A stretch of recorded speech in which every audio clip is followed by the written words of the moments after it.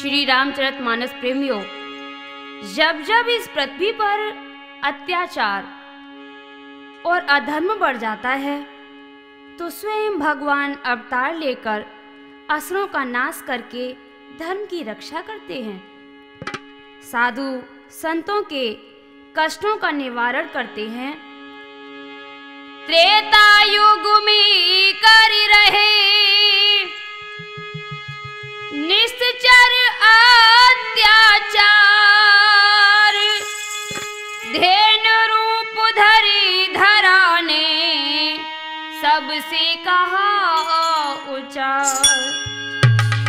त्रेता युग में रावण आदि राक्षसों के अत्याचार जब चरम सीमा पर पहुँच गए तो पृथ्वी गाय पृथ्वी गाय का रूप बनाकर देवताओं के साथ ब्रह्मा जी के पास पहुँची।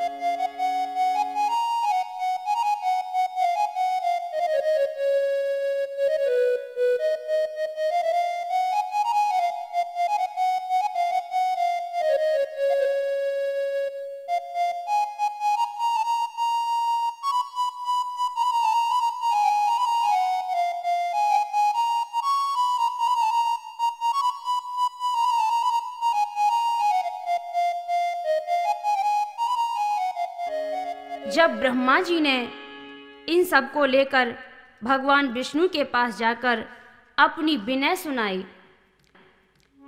और ब्रह्मा जी बोले, भगवान, तुम्हारी दुनिया में हम देव सताए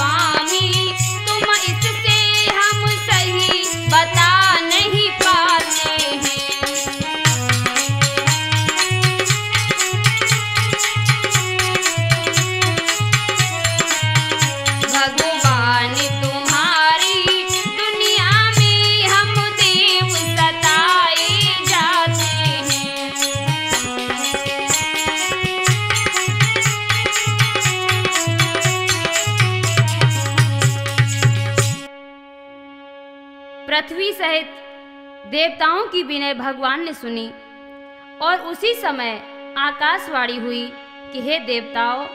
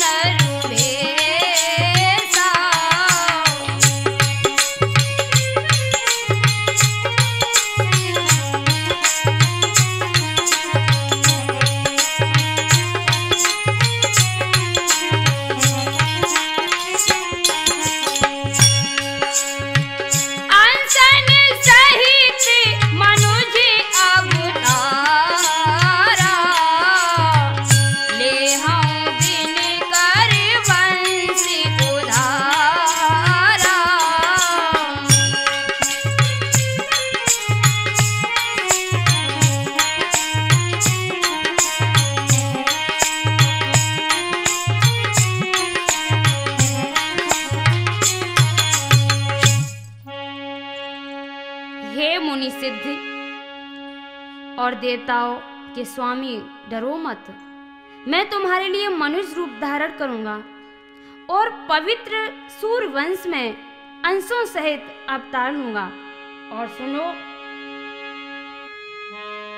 कश्यप और आदित्य जी ने वरदान ये हमसे पाया है, वरदान ये हमसे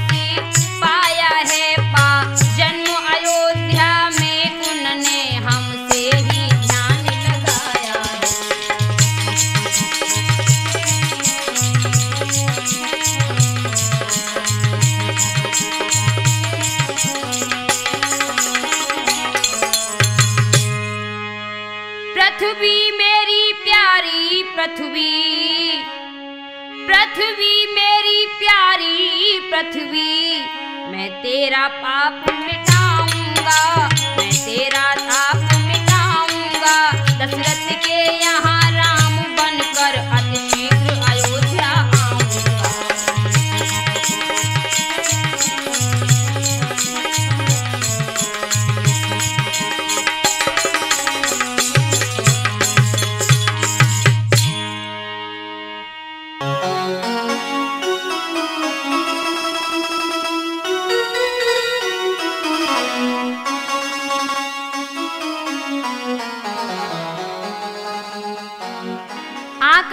सुनकर सबको बड़ी प्रसन्नता हुई।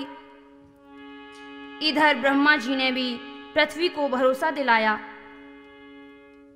और देवताओं से कहा कि, हे देवगणों, तुम भी बानर रूप धारण कर पृथ्वी पर जाकर भगवान के चरणों की सेवा करो। इतना कहकर ब्रह्मा जी तो ब्रह्मलोक को चले गए और इधर देवताओं ने पृथ्वी पर आकर वानर देह धारण कर ली। कर ज़ोर बिने सब देव गए उन बानर भाल के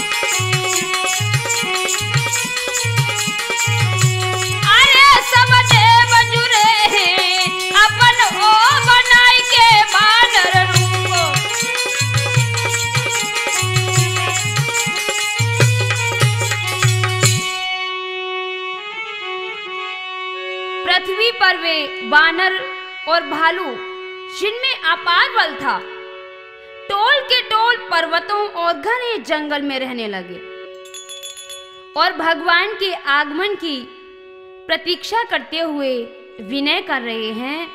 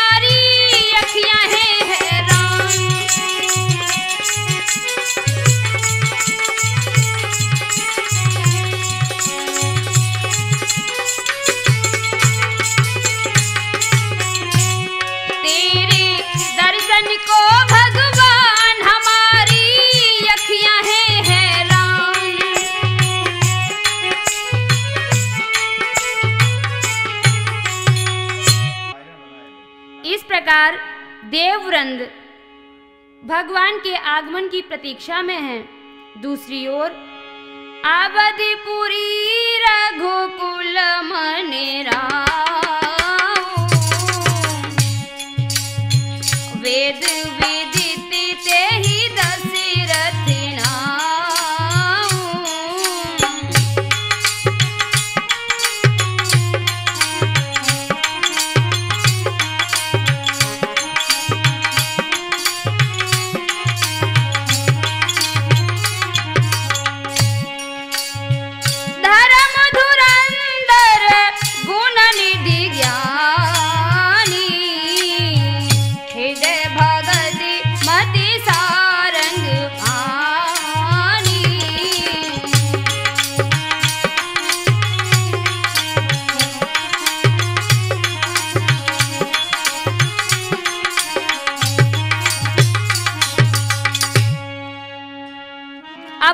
में रघुकुल शिरोमणि दशरथ नाम के राजा थे, जिनका नाम वेदों में विख्यात था। वे धर्म धुरंधर, गुणों के भंडार और ज्ञानी थे। उनके हृदय में सारंग धनुष धारण करने वाले भगवान की भक्ति थी और उनकी बुद्धि भी उन्हीं में लगी रहती थी। लेकिन फिर भी उन्हें एक कष्ट था।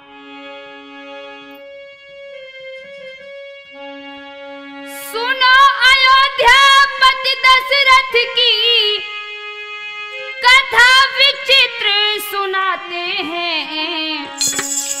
कौशल्या कह गई, सुमित्रा थी, अब रानी तीन बताते हैं।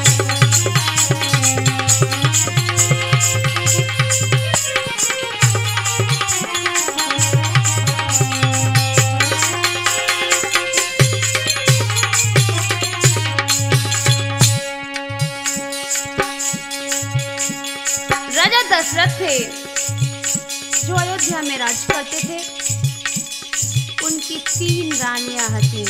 कौन कौन कौशल्या, सुमित्रा और कैके लेकिन एक चिंता हती, राजा दशरथ को तो वो चिंता का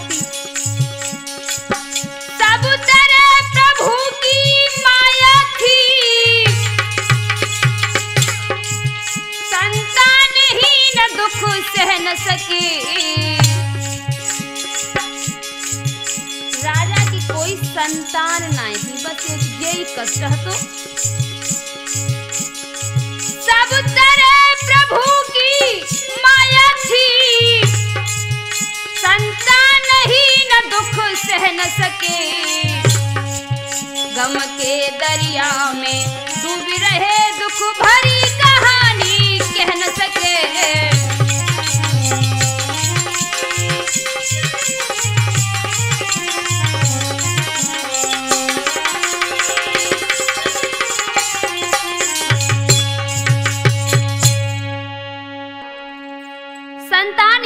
के कारण राजा बड़े चिंता तो रहते थे।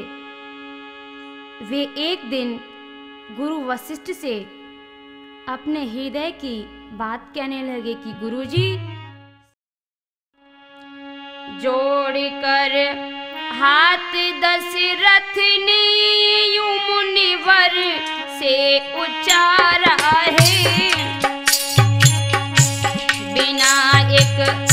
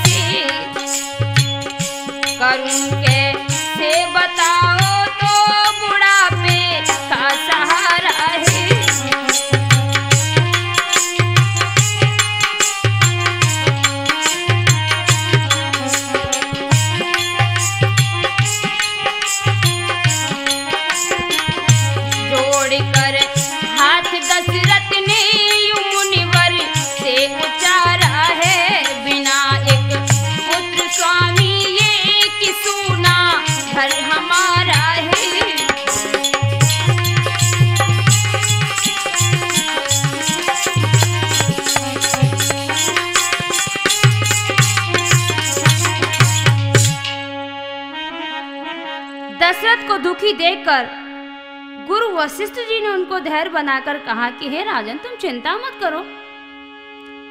तुम्हारे यहाँ एक नहीं, बल्कि चार चार पुत्र जन्म लेंगे। इतना कहकर वशिष्ठ जी ने शंगी ऋषि को बुलवाकर पुत्रेष्ट यज्ञ किया। तो जब पुत्रेष्ट यज्ञ करवाया कैसे हो रहा है, कैसे बुलाया गया श्रृंगी ऋषि को? अरे तब श्रृंगी ऋषि बुलवाए।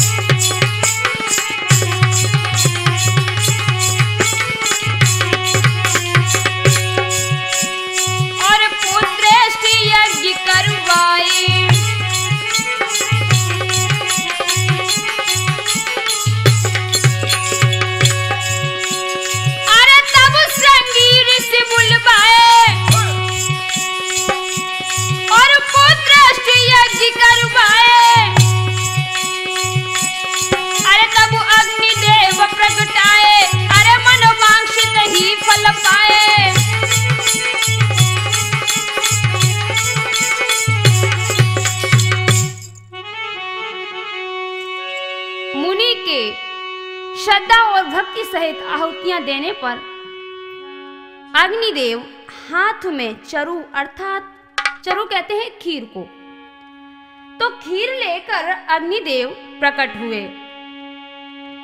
अग्निदेव झट से प्रकट वहाँ हो गए अग्निदेव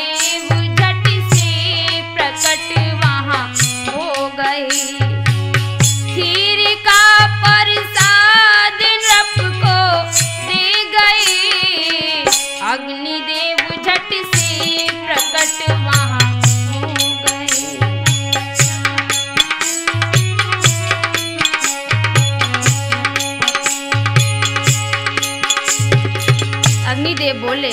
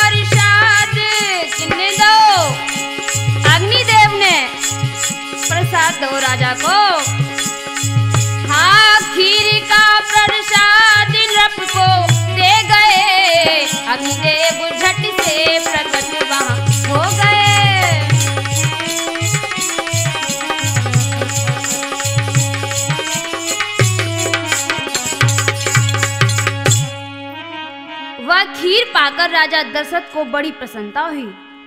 और उन्होंने महलों में जाकर उस खीर को रानियों में बांट दिया।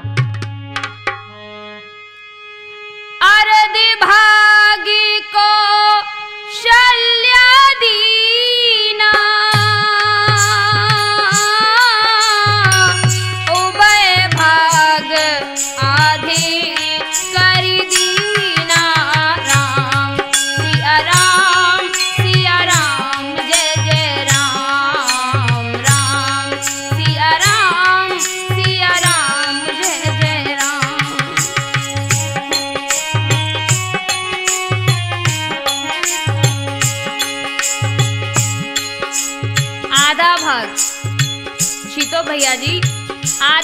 कौशल्या को दिया। और आधे में जो सुमित्रा और कैकी थी, उनको दिया। तो सुनिए अरे भागी को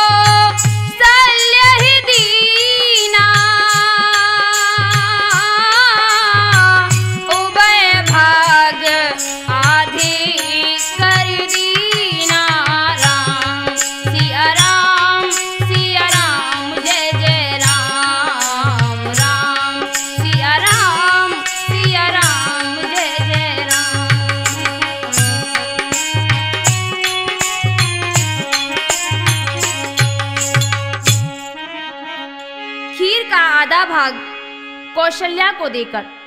पुनः आधे में से आधा आधा किया और केके और सुमित्रा को दिया। भक्तों व प्रसाद रानियों ने खाया।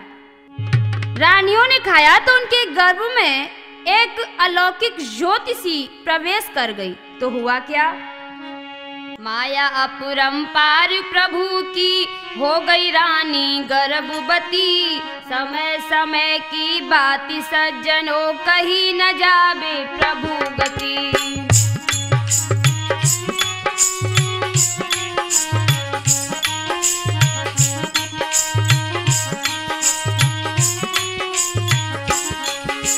भूपति मन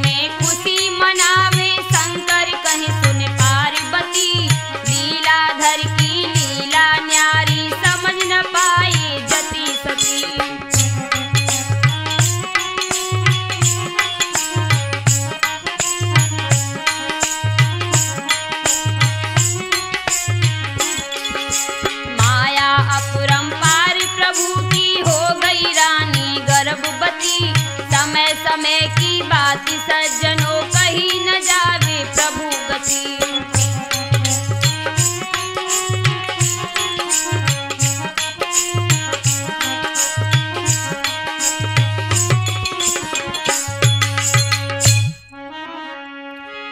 दशरथ की भक्तों, तीनों रानियाँ गर्भवती हो गईं।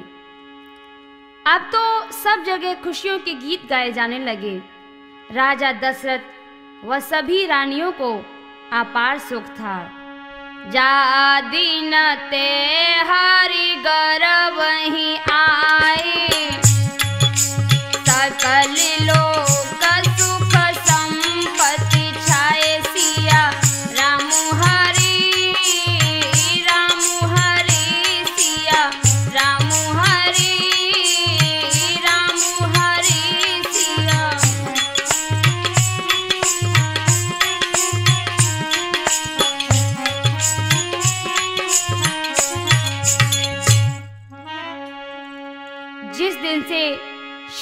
गर्भ में आए।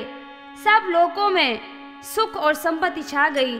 धीरे धीरे समय पूरा हो गया। इधर राक्षसों का अत्याचार भी चरम सीमा पर पहुँच गया। जब जब निश्चर करी भूमि पर भारी अत्याचार। तब तब आकर लेते हैं प्रभु जी अवतार। जब जब निश्चर करे भूमि पर भारी अत्याचार, तब तब आकर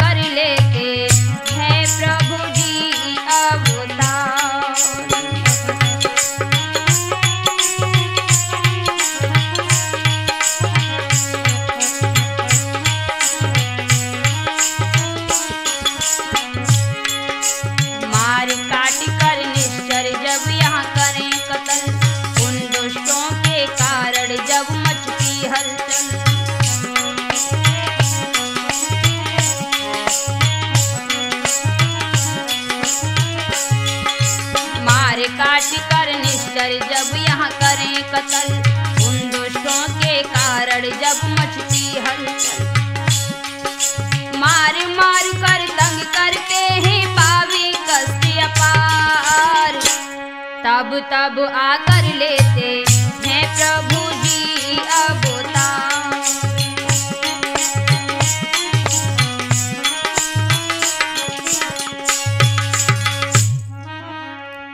राक्षसों का दमन करने के लिए ही अब भगवान अवतार ले रहे हैं। जोगी लगन ग्रह तिथि, सकल भय अनुकूल। चर और अचर हर सजुत, राम जन्म सुख योग लगन ग्रह वार और तिथि सभी अनुकूल हो गए। जड़ और चेतन सब हर्ष से भर गए।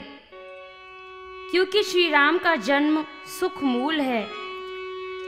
चैत मास में शुक्ल पक्ष जब नौमी तिथि आई,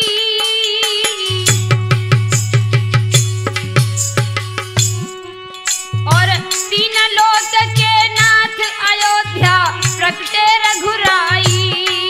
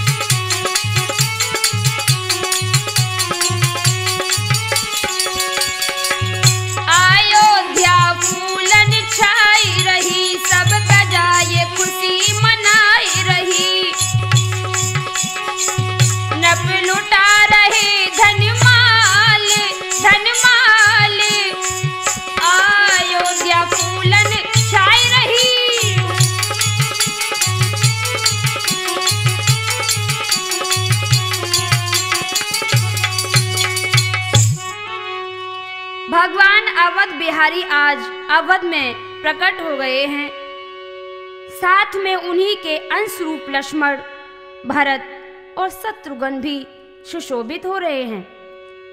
राजा दशरथ के आँगन में बधाई बजने लगी। कौशल्या ललनवा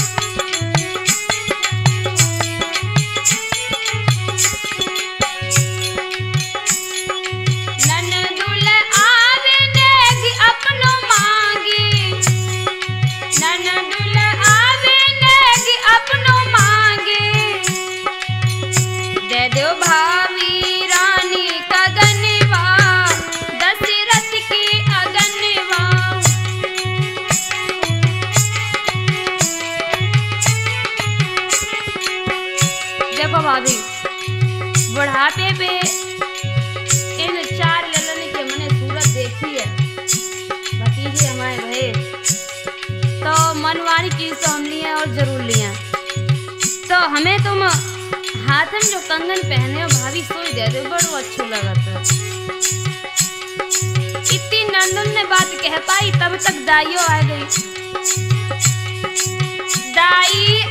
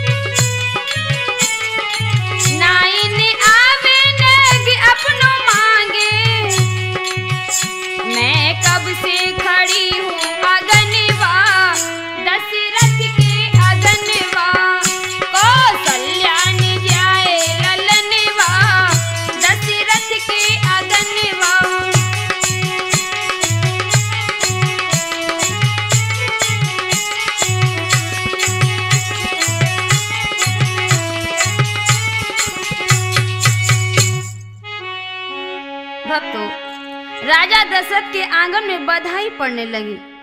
बधाई डालने वाली तिरियाँ अपना अपना नेक मांग रही हैं। इतना वहाँ पर खुशी का माहौल है कि भैया कछु कहिए नहीं जाते। तबे थाली में मंगल द्रव्य भरकर गाती भई राजा दशरथ के द्वारे। बधाई डालन लगी। द्वारे खड़ी ही ढोलक पे बैठी, अरे भैया कुछ पूछो ही ना। कितनी अच्छी बधाई डाली। तो ना बैरिन नज़रिया लगी, जनी हरि राघव हरि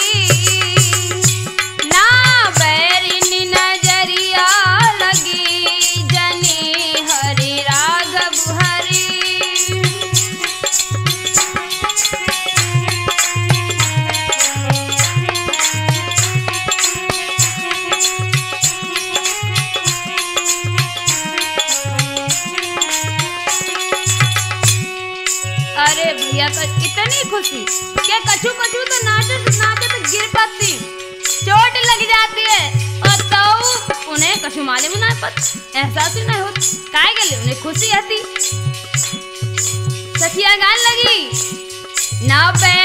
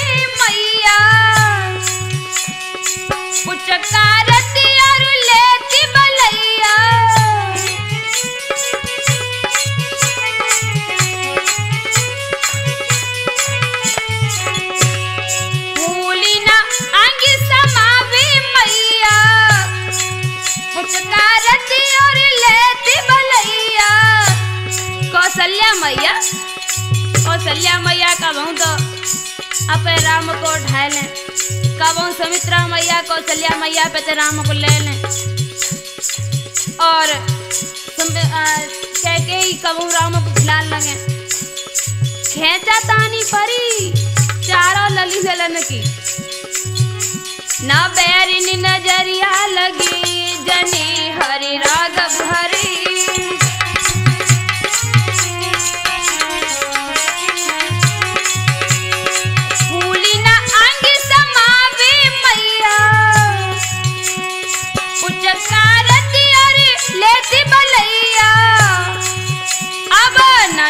सतिया धरे जने हरे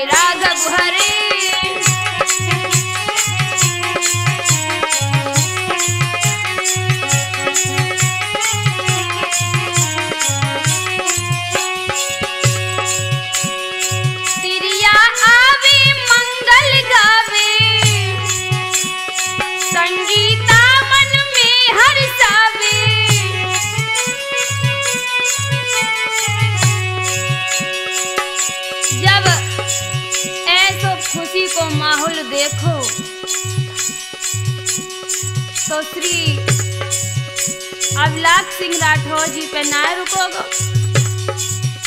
देव कहूँ पाँच सौ रुपया, की कहूँ हज़ार रुपया, की न्यौछावर करने लगे। तिरिया आवे, मंगल गावे। संगीता मन में हर्षावे क्योंकि भैया, क्या हो रहा है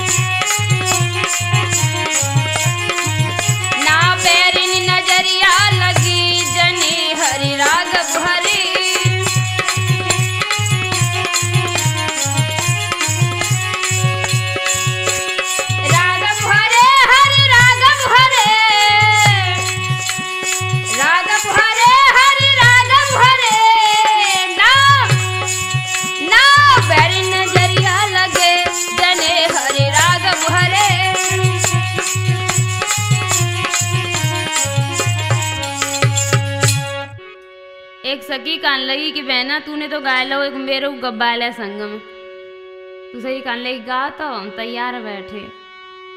तो बाने उठाओ धीरे से गाना। बुढ़ापे में जाए है ललना, खुशी राजा दशरथ के अंगना। बुढ़ापे में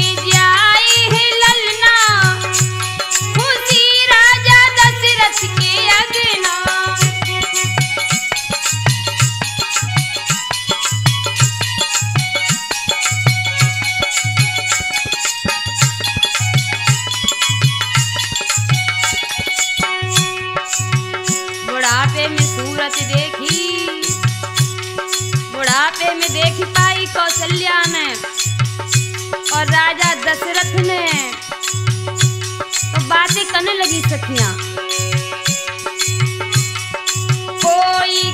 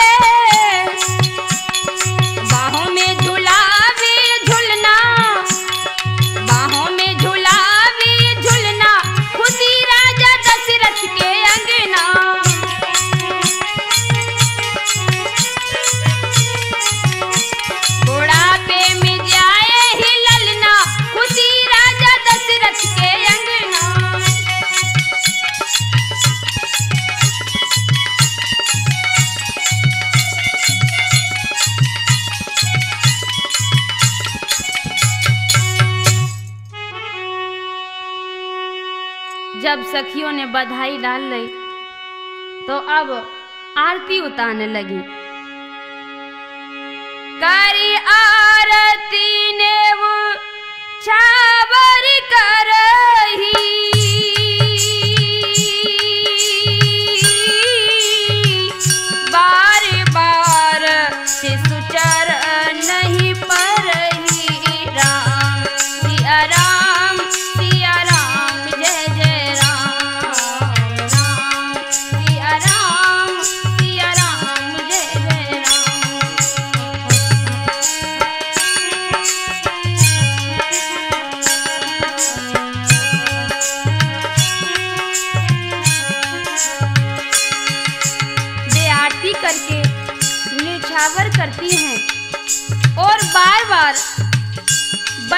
चरणों पर गिरती हैं। मागध सूत हाँ।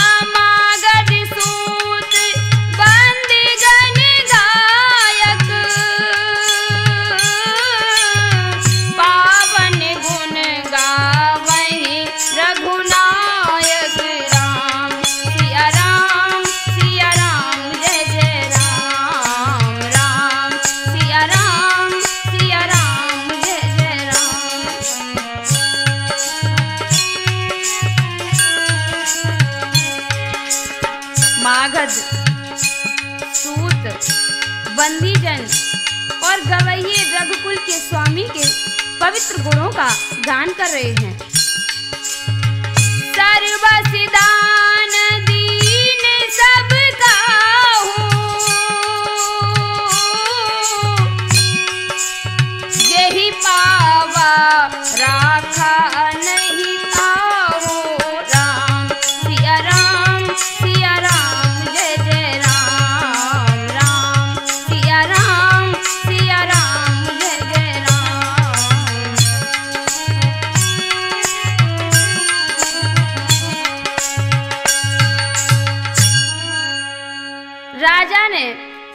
किसी को भरपूर दान दिया। कह के इस सुमित्रा ने भी सुंदर बच्चों को जन्म दिया। ऐसे सुगढ़ सुंदर बालकों को पाकर माताएँ धन्य हो गईं। नर किन्नर, मायाधारी और देवतागढ़ सभी खुश होकर नगाड़े बजा रहे हैं। यह कौतुक देखकर शूर भी अपनी चाल भूल गए और एक महीना तक वे वहीं ठहरे रह गए। मास दिवस कर दिवस भाव। मरम न जानई कोई। और रथ समेत रब था के निशा कवन विधि हो। महीना भर का दिन हो गया। इस रहस्य को कोई नहीं जानता। सूर्य अपने रथ सहित वहीं रुक गए। धीरे धीरे श्री राम सहित चारों भाई बड़े होने लगे। वे आँगन में खेलते हुए शोभायमान हो रहे हैं। खेल भवन गिराई दे मटकी करे सभी मिल छीना झप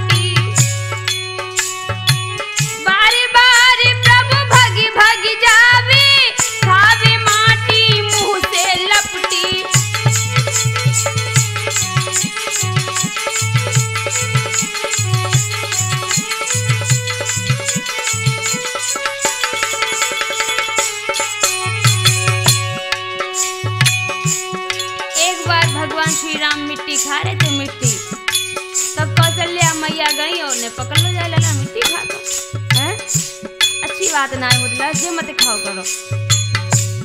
तो भगवान ने वहीं पे कान पकड़ ले कि मैया, अब ना खाओ करें, गलती हो गई।